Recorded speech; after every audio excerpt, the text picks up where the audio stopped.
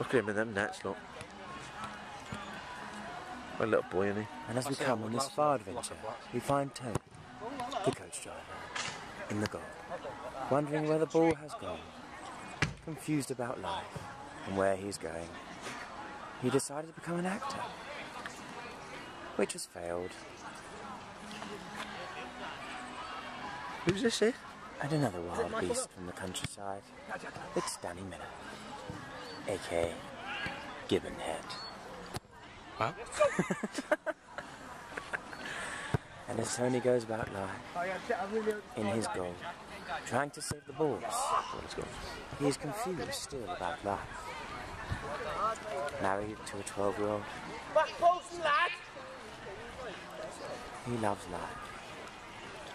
He is, the man of the moment. Tony. He likes to stand with his hands on hips. And he's worried about the ball.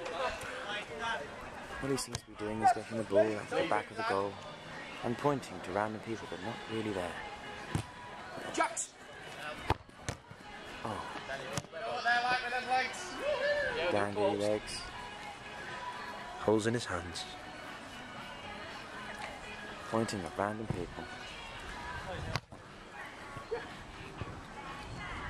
Loving life in the sun. Standing like a terrapin, looking like a twallop.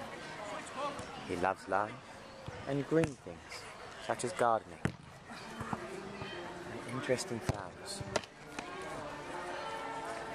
Oh, they actually caught one though. That's quite impressive. But you keep filming, I'm gonna go take a shot. Yeah, go on.